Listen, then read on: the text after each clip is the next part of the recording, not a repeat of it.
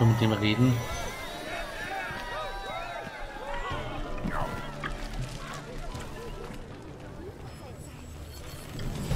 Nee, der ist zu hoch.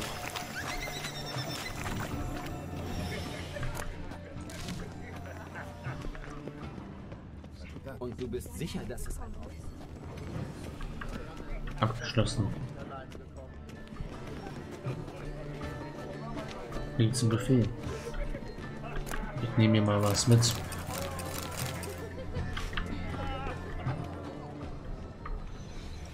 Bedien mich mal. Oha, vom Schwein. Vom Schwein, vom Rind.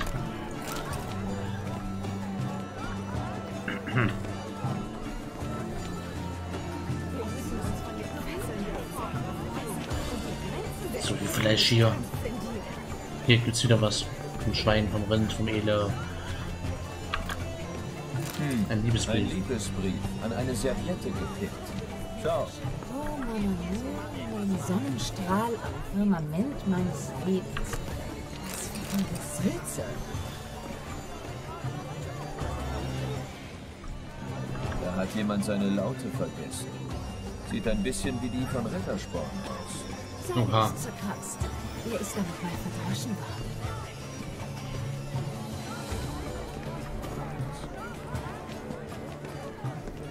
Okay, wo müssen wir hin? Scheinbar hier einer. Ich finde hier keinen in dem, in dem Trudel. Nicht anfassen.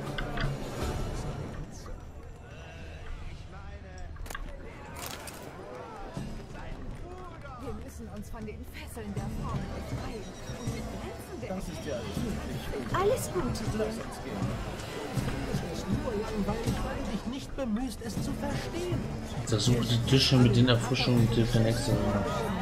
Okay.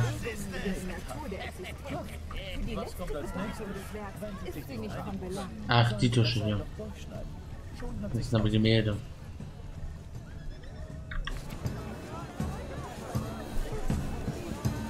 Die Empfängnis Edwards. Ah ja. Sehr hübsch. Die ersten Schritte Matildas. Hübsche Gemälde. Die Geburt Ludovics. So, das musste man natürlich sehr, so, sofort porträtieren. Wir müssen uns von den Fesseln der Form befreien und die Grenzen der Erkenntnis transzendieren. Aha. Eine leere, herzförmige Schachtel.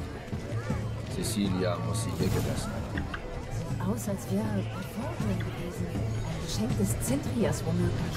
Der Duft hängt noch in der Luft. Folgen wir ihm. Eine leere, herzförmige Schachtel. Cecilia muss sie hier gelassen haben. Sieht aus, als wäre Parfum drin gewesen. Ein Geschenk des Zintrias womöglich. Der Duft hängt noch in der Luft. Folgen wir ihm. Aha. Wohin das uns wohl führt. Den anderen Koal, seinen Bruder. Nicht wieder hier rein. Da waren wir schon.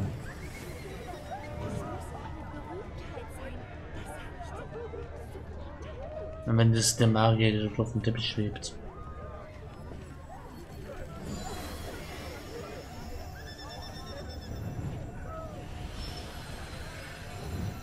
Und wenn er nicht kommt?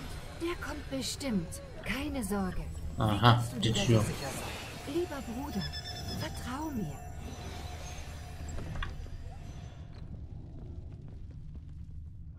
Leibwächter. Tut mir leid. Zutritt nur für Künstler der Mandragore. Komm, lass uns überlegen, was wir jetzt machen. Diese Stimme, die würde ich überall erkennen. Du, äh, musst mich mit jemandem verwechseln. Ich habe 15 Jahre im Palast gedient. Edle Herren, ich würde dich niemals verwechseln. Psst, nicht so laut. Wir sind inkognito hier. Staatsangelegenheiten. Jawohl, gnädige Herren. Wie kann ich dienen? Uns durchlassen. Wir können uns hoffentlich auf deine Diskretion verlassen. Natürlich. Ich werde schweigen wie ein Grab. Wir suchen Cecilia Bellante. Hast du sie gesehen? Sie ist in ihrer Garderobe. Mit einem Adligen. Die fühlen sich eindeutig voneinander angezogen. Wie sieht der Mann aus? Groß, breite Schultern, ein schwarzer Bart schaut unter der Maske hervor und er spricht mit irgendeinem Akzent. Das muss er sein. Wir müssen zur Garderobe. Rasch. Jawohl, gnädige Herrin. Ich bringe euch hin. Nein, du bleibst hier. Wenn jemand zu fliehen versucht, hältst du ihn auf. Verstanden. Schnell nach oben. Muss er an uns vorbei, der fliehen will.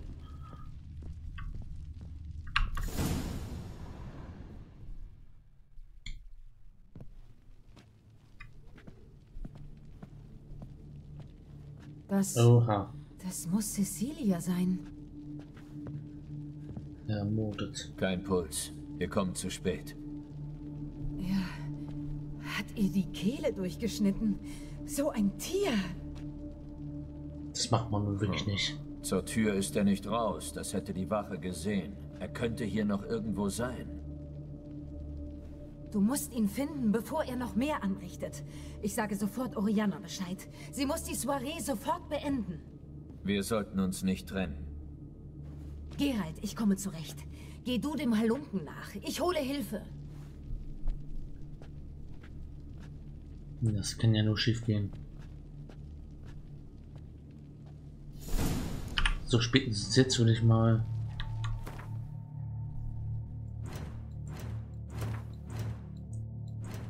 Du was wir können nicht ins Inventar. Das, heißt, hab, das ist ja. Das könnte ein Fehler sein.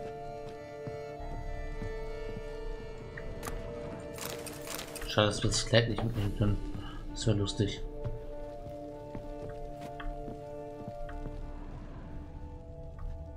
Blutiger Handabdruck. Muss von ihm sein. Der ist da lang. Er hat die Tür eingerissen und eine Plattform draus gemacht. Nicht dumm. Muss auch ganz schön stark sein.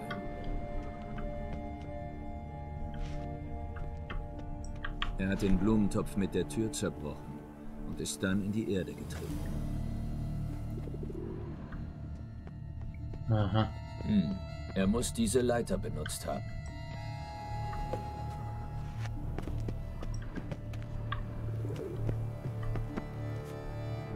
Die Leitung.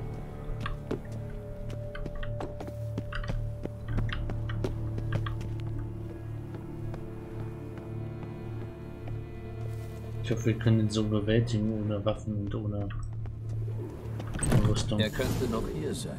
Ich sollte aufpassen. Ja, vor allem ohne Rüstung.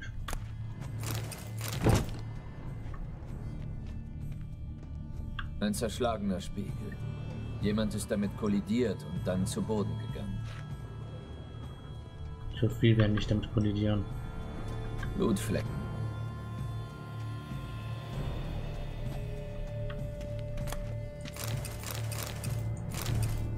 Viele wertvolle Gegenstände. Glieder einer zerrissenen Kette. An der muss das Juwel gehangen haben. Ein Schmuckkästchen. Das Schloss ist kaputt. Vermutlich aufgebrochen.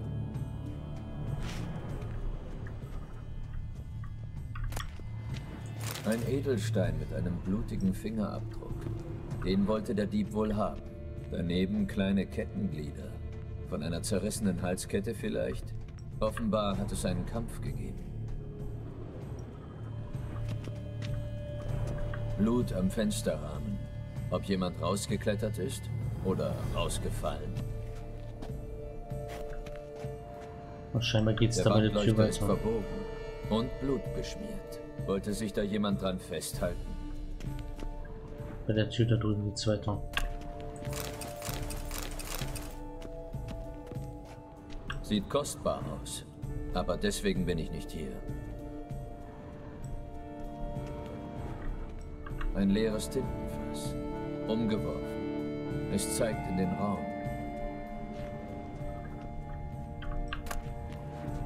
Ein reich verziertes Jagdmesser. Damit wurde wohl gekämpft. Das Juwel war wohl in der Schachtel. Der Zintrier wollte es stehlen und ist erwischt worden. Dann gab es eindeutig einen Kampf und einer von beiden ist aus dem Fenster gefallen. Der Sturz muss tödlich gewesen sein. Das Juwel ist noch da, also muss es der Zintrier gewesen sein, der gefallen ist. Aha. Pass auf, Gerard, irgendwer hat ihn, irgendwer hat ihn angegriffen. Das ist also der Fährtenleser. Ein Aha. Hexer, ja? Ja, das ist er. Wir haben die Leiche zusammengefunden. Dann ist er dem Mörder nachgegangen. Dann bin ich hier gelandet und habe nur die Spuren eines Kampfs gefunden. Offenbar hat es sich für den Zintrier nun ausgemordet. Schade, dass es für Cecilia zu spät war. Armes Mädchen. Ich habe ihr gesagt, dass sie ihre Männer schlecht auswählt. Aber einen Mörder hätte ich niemals vermutet. Ich alarmiere die Bediensteten. Sie sollen sich um ihre Leiche kümmern. Kommt, setzen wir uns doch. Dann erzähle ich euch alles ganz genau.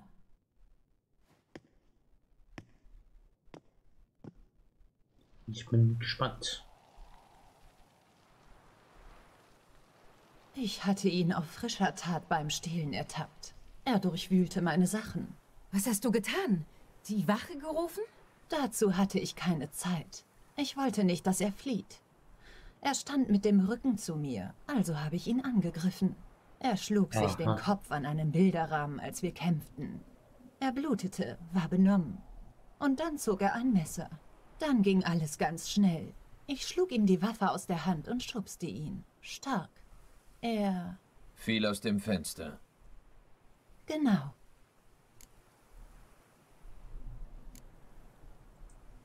Es ist nicht wirklich klug, sich mit einem bewaffneten Dieb anzulegen. Warum? Weil ich eine Frau bin? Ein Kleid und keine Rüstung trage? Ich kann sehr gut auf mich aufpassen. Eine Haarnadel sieht vielleicht wie ein Schmuckstück aus. Aber im Auge ist sie so wirkungsvoll wie eine Klinge. Das ist wohl so. Ich glaube, der Mann wollte dich ausrauben, als du ins Zimmer kamst. Ja, er stand vor meinem Frisiertisch und hat meinen Schmuck durchwühlt. Hm, um das zu suchen, nehme ich an. Das habe ich beim Suchen entdeckt. Das ist ja das Herz von Toussaint. Oriana, wo hast du das her? Ich habe es gekauft. Vor vielen Jahren. Von einer jungen Frau.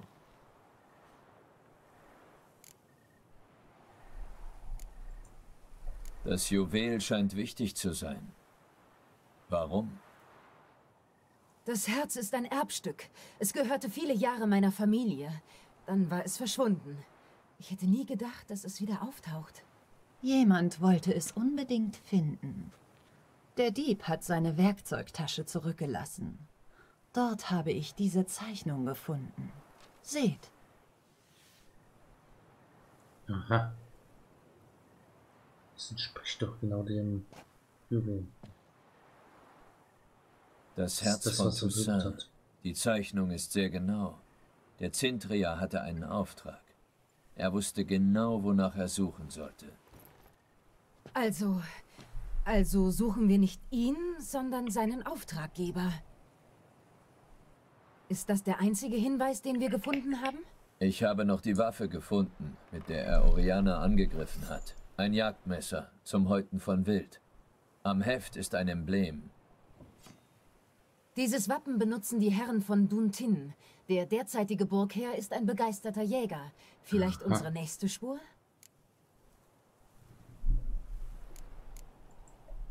Oriana, ich hoffe, dass du alles, was wir besprechen, für dich behältst. Ich verlasse mich drauf. Wenn bekannt wird, dass sein äh, Juwelendiebstahl gescheitert ist, könnte sein Auftraggeber untertauchen. Wir müssen vorsichtig sein. Diskretion ist uns allen wichtig. Ich frage nicht, worum es hier geht, erwarte aber, nicht mehr damit belästigt zu werden. Von niemandem. Verzeihung, Madame Oriana. Dürfte ich was sagen? Entschuldigt mich bitte.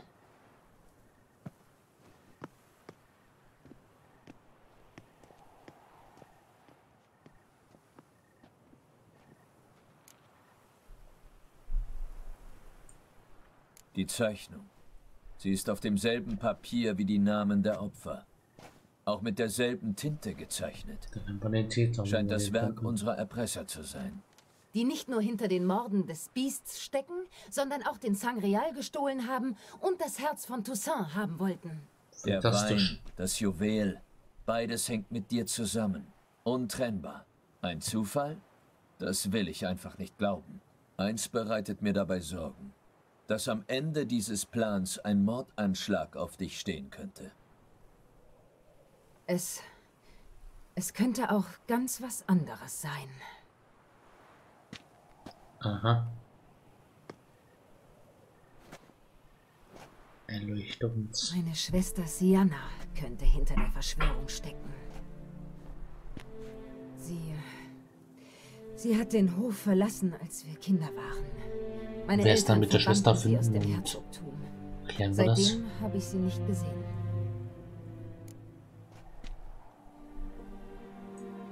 Du denkst, deine Schwester könnte damit zu tun haben? Warum? Weißt du, sie war schon immer besitzergreifend und eifersüchtig auf alles, was ich hatte und sie nicht. Rivalität. Das ist doch normal unter Schwestern. Stimmt. Vermutlich habe ich so viel ausgeteilt, wie ich eingesteckt habe. Manchmal vermisse ich das richtig.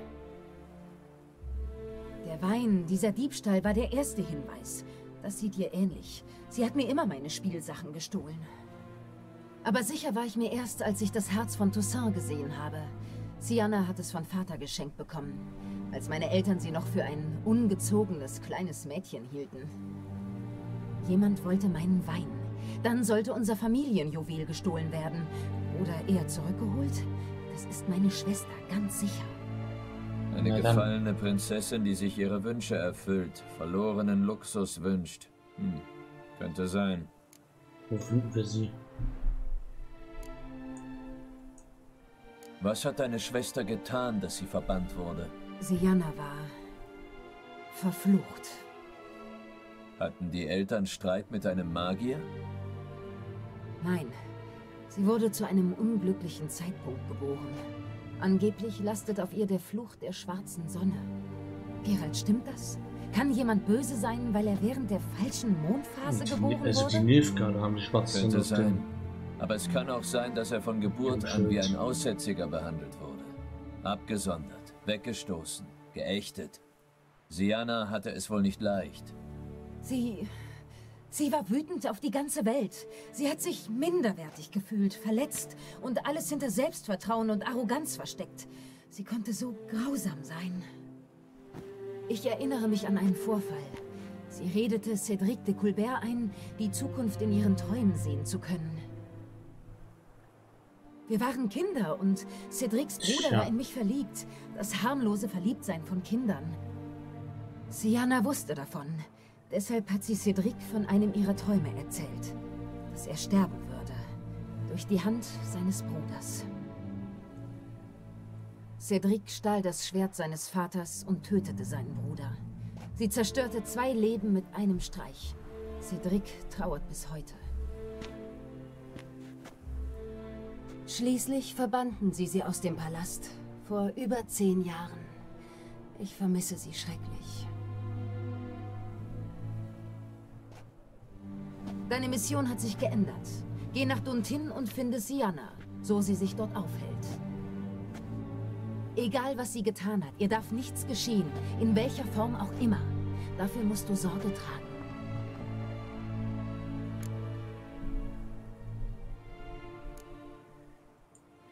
Ich werde sie finden, wenn sie dort ist. Das hoffe ich. Ich würde gerne mit ihr reden. Von Schwester zu Schwester. Gnädige Herrin, Gerald, ich möchte euch jemanden vorstellen. Regis, was für eine Überraschung. Du in Beauclair? Und das ist? Mein geschätzter Freund Detlef van der Eretheim. Er stammt aus Oha. Nasair. Wir stellen unser Können der Jagd des Hexers zur Verfügung. Ah, ja, wunderbar. Aber warum seid ihr hier bei Oriana? Glaub, Sie haben mich nicht. überraschend besucht. Also habe ich Regis auf ein Glas Wein eingeladen. Wir kennen uns schon seit Oh, Urzeiten könnte man sagen. Hexer, wie ich höre, kennst du Regis. Und ihr seid sogar Freunde? Ähm, Ich kann mich nur auf wenige so sehr verlassen wie auf Regis. Hoffentlich denkt er das auch von mir. Seltsam. Gegensätze scheinen sich wirklich anzuziehen. Lass dich nicht täuschen, Liebes. Gerald hat viele Vorzüge. Er versteckt sie nur sehr gut vor der Welt. Hm. Du hast gesagt, dass ihr ihn bei seinem Auftrag unterstützt. Dann hängt das mit dem Biest zusammen? Meister Hexer, Wenn sie wüsste. kannst du meine Neugier stillen. wenn sie wüsste. Wie ist es, einem Monster gegenüber zu stehen? Und man hat nur zwei Möglichkeiten. Töten oder getötet werden. Ich stürze mich nicht mit dem Schwert auf jedes Monster, auch wenn du anderes gehört hast. Bei manchen hilft es auch zu reden. Hm. Ich frage mich, was dir so ein Monster zu sagen hätte. Vielleicht möchte es sich entschuldigen. Wirklich? Wofür möchte sich ein Monster bei einem Hexer entschuldigen? Für das Töten. Denn manchmal bleibt ihm keine andere Wahl, wenn die Liebsten beschützt werden müssen.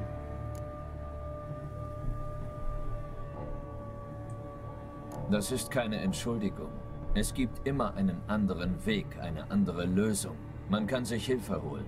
Diese anderen Lösungen kommen oft zu spät. Du weißt, dass es Männer und Hexer gibt, die weitaus Schlimmeres getan haben, um ihre Liebsten zu schützen. Stimmt's, Gerald?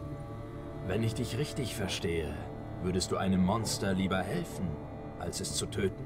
Auf jeden Wenn Fall. möglich, ja. Oder es zumindest es versuchen. geht. Genug vom Hexerhandwerk. Regis hat erwähnt, dass du aus Nasair kommst. Als Kind habe ich dort einige Zeit verbracht. Hast du schöne Erinnerungen? Es war wunderschön. Die Mode dort hat mich sehr fasziniert. Besonders die Kleider mit tiefem Ausschnitt. Ich glaube, uns geht langsam der Wein aus. Ich sollte in den Keller gehen und noch eine Flasche holen. Ich gehe. Willst du mir helfen, Regis? Du kennst deinen Wein besser als ich. Wir sind gleich wieder zurück. Ich hoffe, dann gibt es keine, keine tote Prinzessin, ja, die tote Herrscherin. Eine außergewöhnliche Unterhaltung, findest du nicht Herzogin. auch? Ja. Vampire, ein Hexer und die Herzogin von Toussaint. Du meine Güte. Sehr außergewöhnlich, Regis. Ich wollte dich allein sprechen. Bist du verrückt, Detlef einfach herzubringen? Gerald, lass mich erklären. Nein, lass mich es erklären. Er ist gefährlich und du solltest auf ihn aufpassen. Aber genau das mache ich doch. Detlef ist überzeugt, nicht. dass du deine Aufgabe erfüllst und er niemanden mehr umbringen muss. Ja, bis er die Männer in die Finger bekommt, die seine Rena entführt haben. bis er den Auftragsmord an der, König, an der Herzogin getan hat, was er gerade vielleicht vorhat. Hör gut zu. Ich habe herausgefunden, wo die Erpresser sind. Sie sind auf Burg Duntin. Das sind gute Nachrichten. Wenn sie dort sind, ist Rena auch dort. Die Herzogin denkt, dass wir ihre lang verschollene Schwester auch dort finden. Sie könnte in die Sache mit der Erpressung verwickelt sein. Willst du damit sagen, dass du jetzt zwei Frauen aus der Burg befreien sollst? Ich will damit sagen, dass Detlef davon nichts erfahren darf. Er ist vor allem auf Rache aus. Gerald, du musst mir vertrauen. Ich weiß, wie ich mit ihm. Nein, Regis. Das kann ich nicht riskieren. Du musst mit Detlef hier bleiben, wenn ich nach Duntin gehe. Allein? Allein. So kann ich dafür sorgen, dass keiner der Frauen etwas zustößt. Ich hoffe, du weißt, was du da tust. Gut, ich kümmere mich um Detlef. Viel Glück, mein Freund.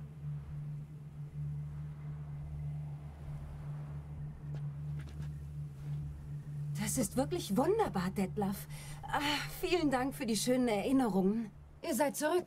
Hat ja lange genug gedauert. Entgegen der allgemeinen Vorstellung ist die Auswahl eines Weins nicht so einfach, wie man denkt. Besonders, wenn er zwei so exquisiten Damen kredenzt werden soll. Regis, galant wie eh und je.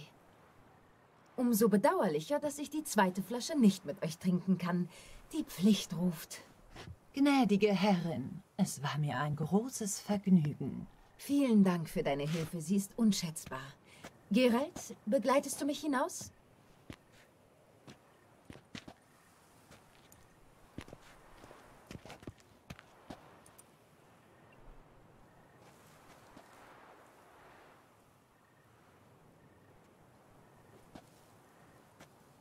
Du hast besondere Freunde. Dieser Detlef, ein wirklich interessanter Mann.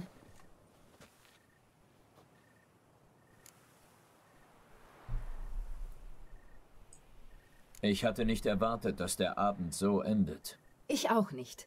Aber ich habe dich nicht zu einem romantischen Spaziergang rausgebeten. Ich möchte mich vergewissern, dass du weißt, was zu tun ist. Mhm. Ich muss nach Duntin. Ich habe entschieden, dass dich meine Wache begleitet. Du triffst sie bei der Mühle des Grafen de la Croix. Du wirst ihn finden. Er liegt am Fluss Saint-Retour in der Nähe der Taverne zum Basilisk. Hauptmann de la Tour und seine Männer erwarten dich dort um Mitternacht. Ihr werdet die Burg gemeinsam stürmen.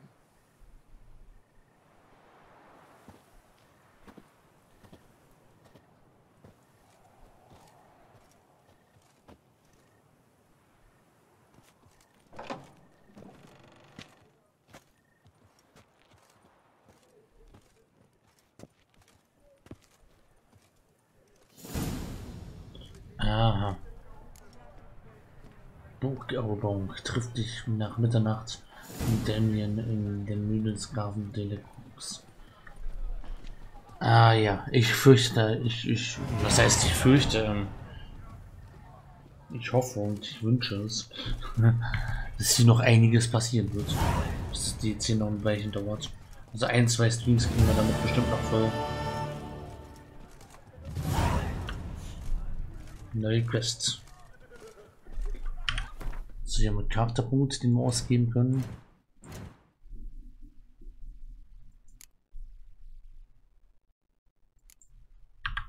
Gehen wir mal hierfür aus.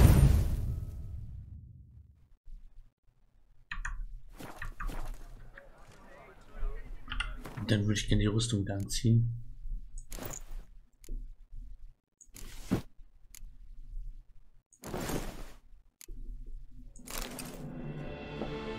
Sehr schön. Die Musik sitzt passend ein. Na gut, dann würde ich sagen, an dieser Stelle, bevor wir in die nächste Quest einsteigen, soll es das für heute gewesen sein.